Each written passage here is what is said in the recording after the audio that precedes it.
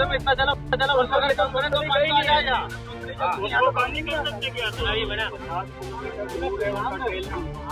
Video बराबर बने कर बड़े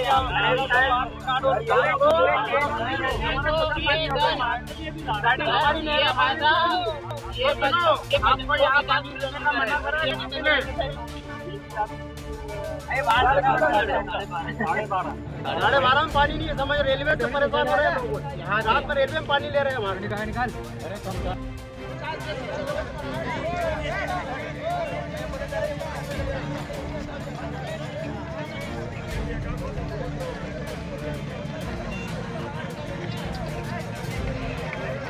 भी आपका मेरा नाम हरिओम है। अच्छा कहाँ के रहने वाले हो? सालाबेड़ी का। आज ये जाम जाम लगाया अपने स्टेट हाईवे पे किस कारण लगाया? इस नहर के अंदर बिल्कुल पानी नहीं आ रहा है एक महीना हो गया कोनी को। हाँ। इसके बाद में अभी तक पानी नहीं आया है। किसान बहुत परेशान है। इस नहर से नीचे रोड से नीचे कोई व्यवस्था नहीं है।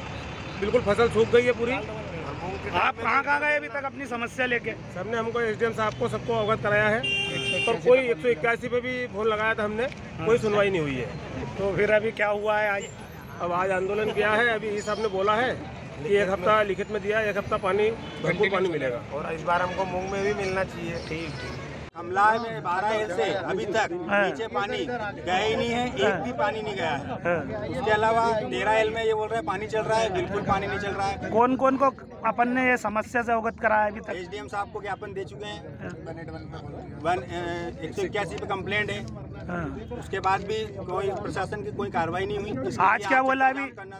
आज- आज उन्होंने हमको एक हफ़्ते रेगुलर नहर चलाएँगे हाँ। फुल पानी पचास गेज पचास गेज पे यहाँ से नीचे रोड से नीचे तक। है। आश्वासन है लिखित है लिखित में है। तो अभी धरने पर बैठे रहोगे कि नहीं नहीं अब ये इसके बाद हम सील साइन सर ने ये सर है इन्होंने बोला है आठ दिन अब रेगुलर पानी चलाएँगे। उसके बाद पंद्रह दिन बाद फिर आठ दिन रेगुलर पानी चलाएँगे टेल तक।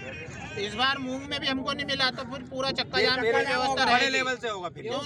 रेगुलर तीन साल खिड़का नहर को मिल रहा मूंग का पानी अब हमको मूंग का पानी मिलना चाहिए। सर बताओ सर ये आज किसान बैठे हैं धरने पे किस कारण बैठे हैं?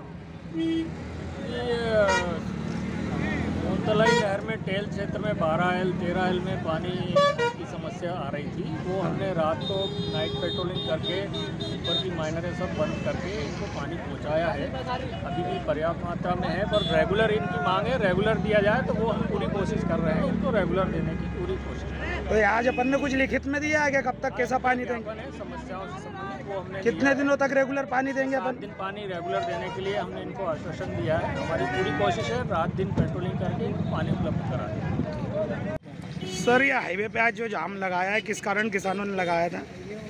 ये हमारे आसपास के जो गाँव है काकरिया मसन गाँव यहाँ के कुछ किसान थे पानी को लेकर असंतोष प्रकट कर रहे थे। तो नहर विभाग के हमने अधिकारियों को बुलवाया है यहाँ पे। उनके द्वारा इनको लिखित में आश्वासन भी दिया गया है और समस्या निदान करने का भरोसा दिलाया गया है। इसी आधार पर ये जो जाम ये खुलवा दिया गया है। ठीक, कब से लगा था सर ये जाम? ये विदिन दस से पंद्रह मिनट की सूचना है हमारे पास जो है। हमसे जुड़े रहने के लिए हमारे YouTube चैनल को सब्सक्राइब करें और नई वीडियो की नोटिफिकेशन के लिए बेल आइकॉन को दबाएँ।